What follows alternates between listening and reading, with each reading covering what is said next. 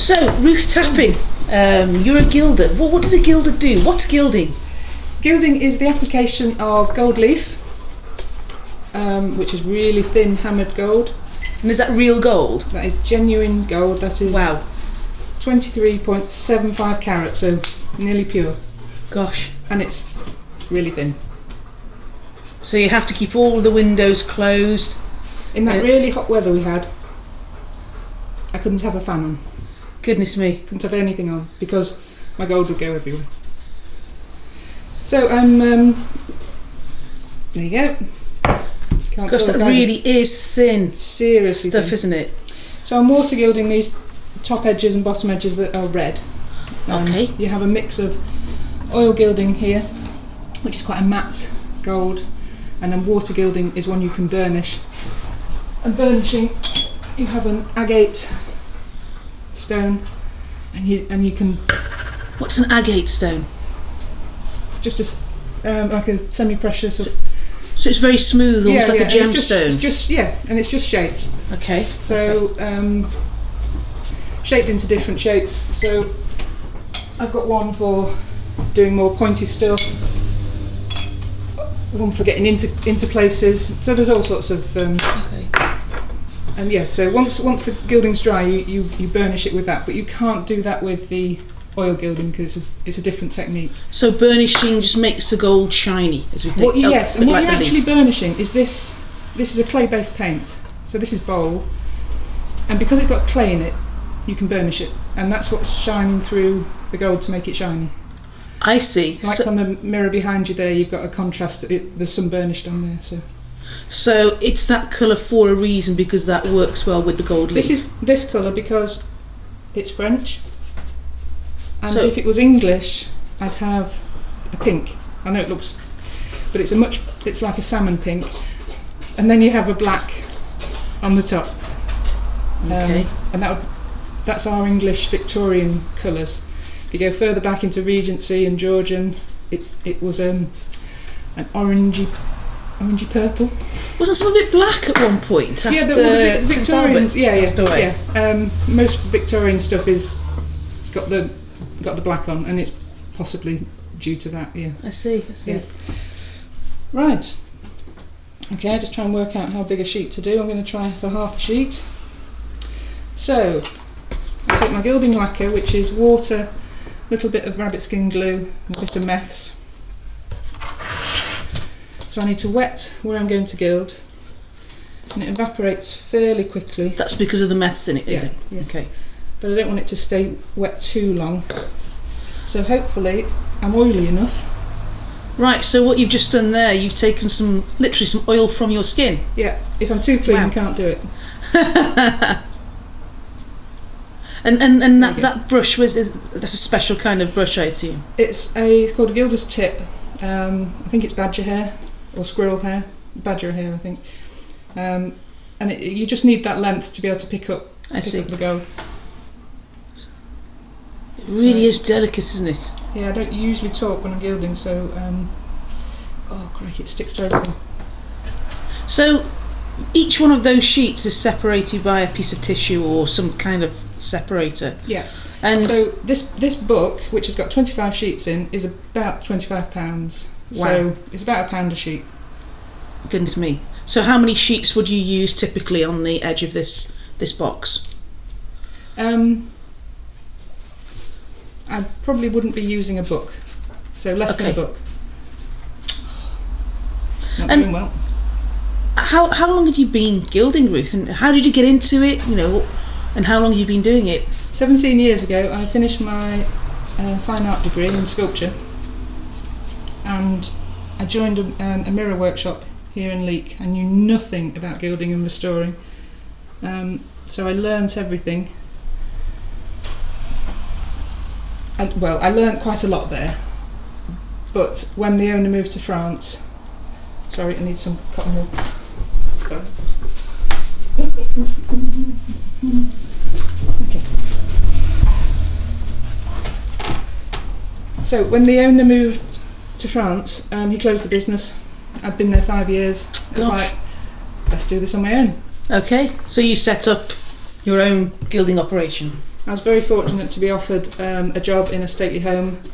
They gave me a little cottage on the estate. Wow. Spent nine months there doing all the interior gilding, all their antiques, everything. And it gave me enough photographs to start a website I see. to, to then launch my business. Um, and literally from that one job, it's just snowballed. Um, So- so, we're 17 years later, and then So presumably by now, um, in those 17 years, it's fair to say that your restored pieces, the gilding that you've done, graces the rooms of some fine establishments around the country and indeed around the world. yes, around the world, uh, there's some out in the Middle East, there's some in the Caribbean, um, uh, some of the res- restoration. There's um, if you go into the entrance hall in Claridge's, one of my restored mirrors. there. In Yeah, London, yeah, wow. yeah. So, So your work really is seen both far and wide and by um, by the rich and famous who, who frequent those places. certainly is. Uh, a lot of it's private homes. Um, Yeah. A lot of it. It's lovely when somebody comes in and says, "This was Grandma's. When I was five, I remember it on the wall." It's yeah. Uh, it's, it, I've inherited it. It's fallen off the wall. It's broken. I'm absolutely devastated. Can you restore it? And usually I can. And how often does that kind of thing happen where people, I know, but maybe, you know, it, it could be that it's something that's been in the family for years or in the home for years, or even sometimes I, I expect where an elderly relative has passed away and they've gone into the property and, and, and discovered um, various pieces. a lot of the pieces I get are inherited. Um, also inherited, then fall off the wall. Now they don't. It's been on Grandma's wall for 50 years. Yes. They, they take it off, they bring it home, they put it on the wall. They don't think about the fact that it was just string. Now it's it's been moved and changed, Yes. and you've rehung, you put some pressure on it, and then a month later it's on the floor. Yeah. Always happens, and nobody ever thinks to hang a mirror with either screws in a wall or wire or a chain. It's always string. Okay. And which, these, which keeps me in work. but these are pretty heavy pieces as well. Uh, it, is the majority of your work with mirrors, or can it be anything from a mirror to a box like you're working on now? Basically, anything that's gilded or anything that can be gilded. Okay. Um, I like working on the mirrors um, more than the picture frames because a picture frame is fairly straightforward and simple. If a corner's missing, you've got another corner to mould. Yes, of course. On a mirror, if you've got a side scroll missing, this side scroll's the opposite, so you can't mould it. You have to sculpt that up. So my sculpting skills come in handy, and you know I enjoy it. So, what do you sculpt in for to, to make the, the match? Here? So, if it's a big piece, I will um, draw it draw it out, flip it over, draw it out again, and make it in clay on the piece w- uh, uh, with some cling film so it doesn't damage the frame. Mould that, take the mould off, take the clay off, and then press the composition which the other scroll would have been made of originally into that mould, and then attach attach that. Okay, tell me, I'm, I'm intrigued. I've heard this term composition before, or I've even heard you refer to it as compo. Compo, yeah. Wh- what is composition or compo, and why is it so pivotal to to, to mirrors particularly? So, years and years ago, um, everything was wood carved, and it was expensive to have things wood carved. And some Bright Spark invented putting animal glue, tree resin, whiting, loads of other stuff together in a pot, stir it all up, and you get this um, like a bread dough. okay, So you warm it up, and you press it into moulds. And there's actually a lot of glue in it, so it will stick itself to a frame. Now that absolutely revolutionised frame making because it's quick. It's a mould. You don't have to pay the carver. I see. You may have to originally pay the carver to do a boxwood mould, reverse carve it because they didn't have silicon in those days. But then you can But you paid reproduce it once, yeah, Yes. and you can re- reproduce that a thousand times. So it just brought down, and then the mirrors sort of became not just in stately homes. The middle classes could afford it, and you know now anybody can afford it. So yeah, the compo Okay. was actually quite important, really. Um, Okay, so you still use those methods that were the, the developed. recipe that was I've got it, it would have been used 150, 200 years ago. Yeah. Wow. Yeah, same recipe, same same products. In fact, the one thing I can't do is put modern products with this. All these layers are all animal glue or rabbit skin glue based. And if you start to put a resin in there, it, it detaches, it doesn't like it. So if you're gessoing on top of like car body filler, if somebody's repaired something with car body filler, it doesn't like it. So in about a year's time, it'll it'll peel off. So it really is important that in in, in modern to- times yeah, you, you you've got to maintain the That fidelity yeah, to the traditional traditional methods and materials. Might I mean, not be the I kind use, of I use a microwave to heat my bole up Yeah. and my gesso up, and because everything needs heating. I don't have a bain marie, but if they had a microwave, they would have. yeah. You know, I'm not that Puritan, but So that, that's another term you've used there with gesso. Gesso. I've heard you say that before. What's gesso and, and how's it used? So you start with a wooden frame, and gesso is basically just chalk and rabbit skin glue. And you, you paint it on layer after layer after layer. You usually have about 12 layers of gesso. That's um, then gives you a base to st- that's the white base that you then start to put your bole or your decoration on. So you're basically just getting rid of the wood grain and giving a perfect finish. Right. So it's it's what we might think of as an undercoat. Yeah, yeah, lots and lots of Fancy. undercoats that have to be sanded perfectly Right. flat and smooth. So there's an awful lot of sanding in my job. So it isn't just a piece of gesso that sorry, a, a, an application of gesso. It might be one application, then a sanding, then another gesso, then a sanding, and so well, I normally do um, about 10 coats of gesso, um, Wow. let it all build up, and then do um, a, a, quite a rough sanding. If I need a couple more layers, and then do, do then do the fine sanding. Um, so yeah, some people do sand between layers, but I don't really see. I don't see the point, and, and like to build up a decent thickness and then and then sand it back. I see. So it's, it's a very lengthy process. I mean, do you have to leave them overnight or for a few days in between various stages? In winter, it can take. You can probably do two coats a day.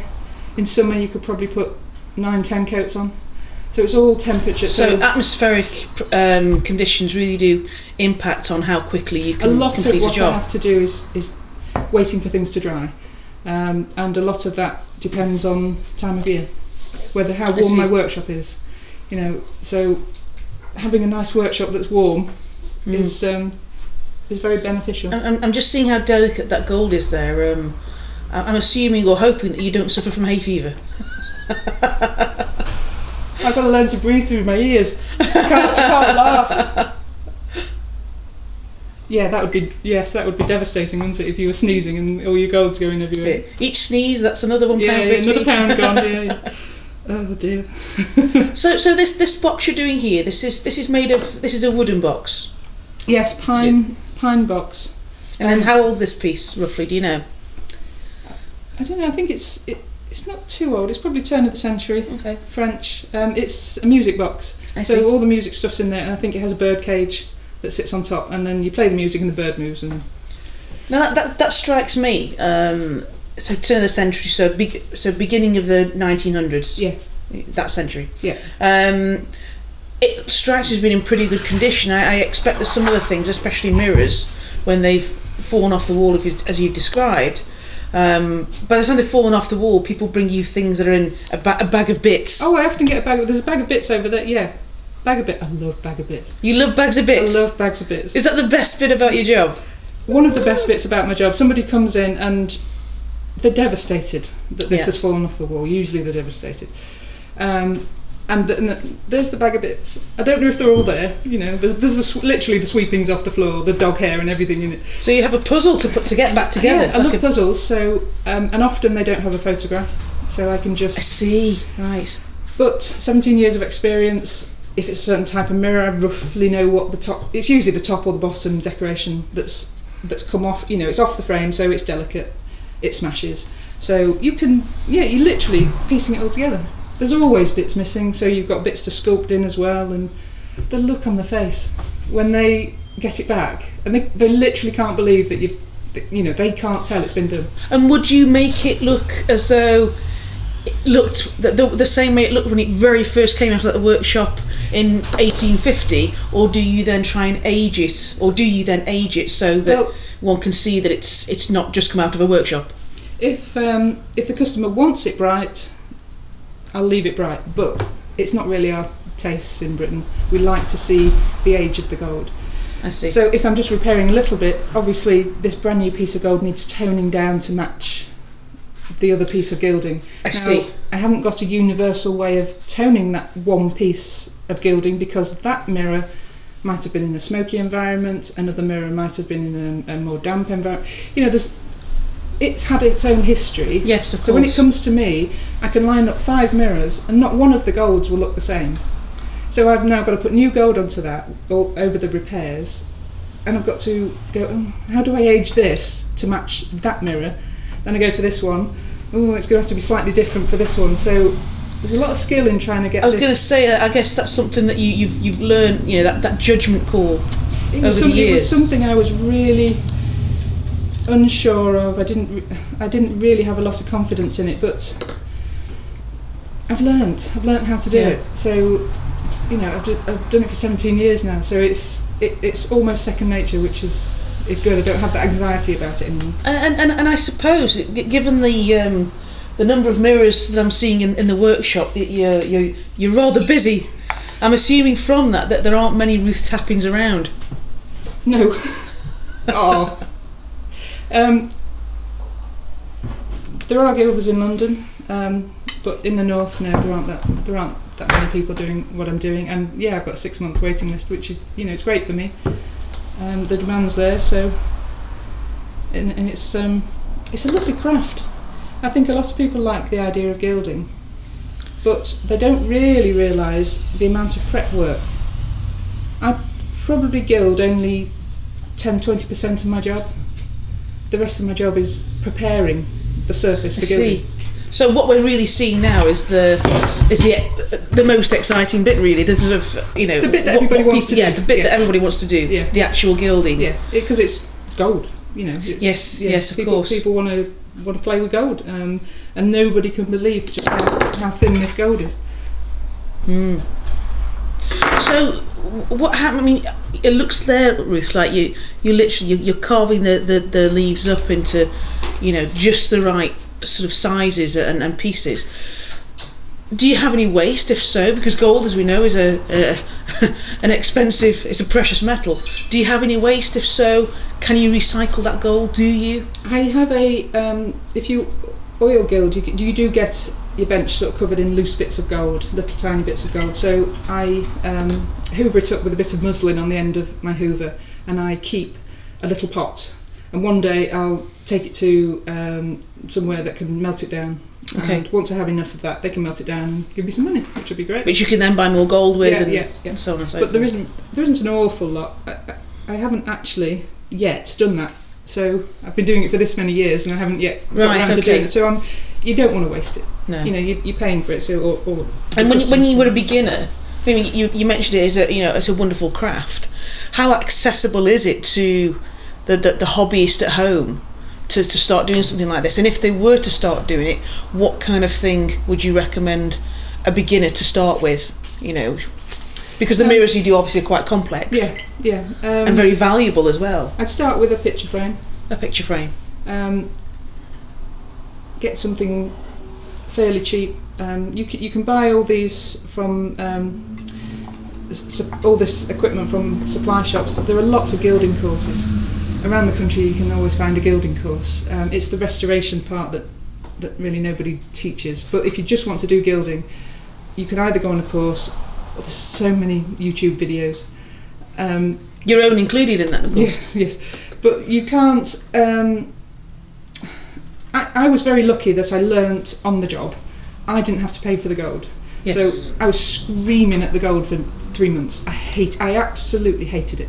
I couldn't control it. I didn't know how to breathe around it. I couldn't lay it properly without it splitting. You always lay and, and, and split the gold. It's just part of the job. But every sheet was being split. Let's see. Then after about three months, it was like, I think I've got this. Okay. And But that was doing it every day. That was your living, you know, Yeah. for eight hours a day. but someone else was paying for the gold. Yes. Okay. It was a good start. Yeah, It was a good so start. um, so that that was that was really good. Yeah. And and what do you enjoy doing most? Is it would it be um, boxes like this? Would it be the mirrors? I noticed you've got um, what, what what do you what do you call these things here, for example? What, what are these? The wall brackets. These are wall brackets. they'll yeah sit on a wall. if you, you can see that. Sit on a wall, and you have a vase I see. sat on top. So yeah, they're they're they're really sweet. Um, I think mirrors are my are my favourite. I did have a harp once. I did I did enjoy gilding the harp. Wow. That was just because it's an impressive an impressive piece. Um, But actually, I have what I call a Sunday job.